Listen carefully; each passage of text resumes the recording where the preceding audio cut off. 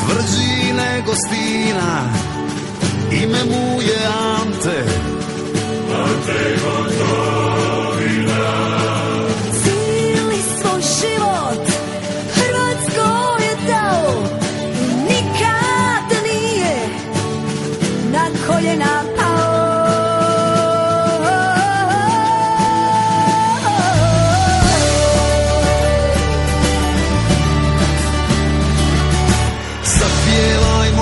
braćo U ime svih Hrvata Zapjevajmo pjesmu Onako iz inata jer staje uz rame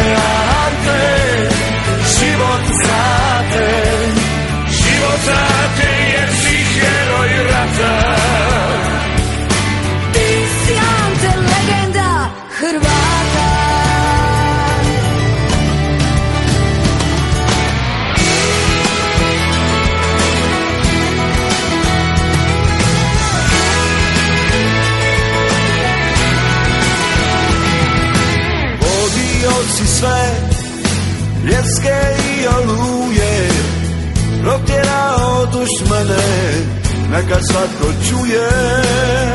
Žalija nisi ni truda ni znoja Zato ti je zahvalan domovina tvoja.